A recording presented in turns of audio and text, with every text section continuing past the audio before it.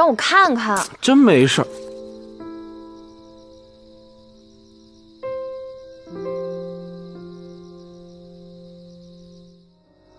谭县城，你既然是景阁老的人，就应该清楚我此行西南的目的。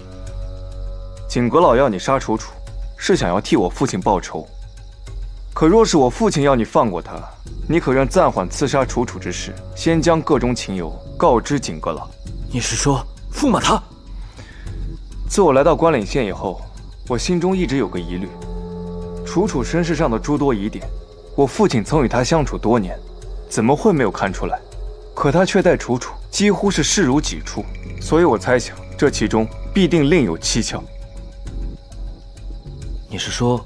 之前和楚家接触的那个巫医，可是那巫医五年前已经失踪了。据我推测，他还在此处。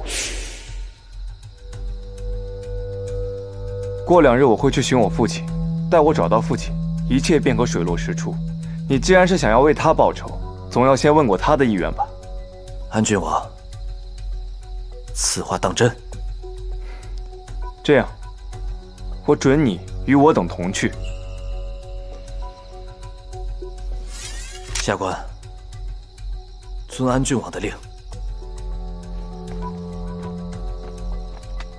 对不起，景逸，是我太冲动了，都怪我没有及时跟你们说。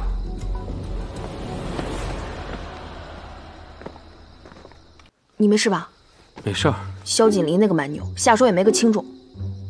你让我看看。哎，这还在大街上呢。这有什么呀？这街上不是没有人吗？你让我看看。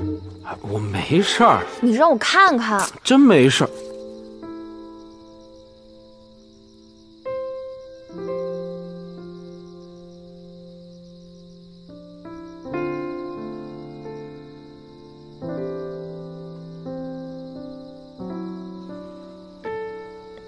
嗯，没事就好。萧锦离他下次再敢这样，我非扒了他皮不可。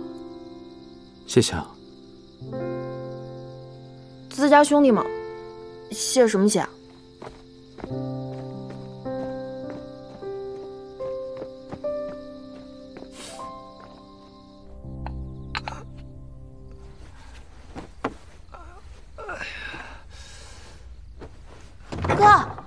哎，楚楚，你怎么进来了？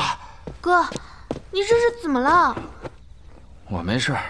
就就挨了顿板子，挨板子？你怎么会挨板子呢？让我看看打哪了？别别别别别，你不能看。为什么不能让我看啊？我一个男人，你一个小姑娘家的，你说为啥呀？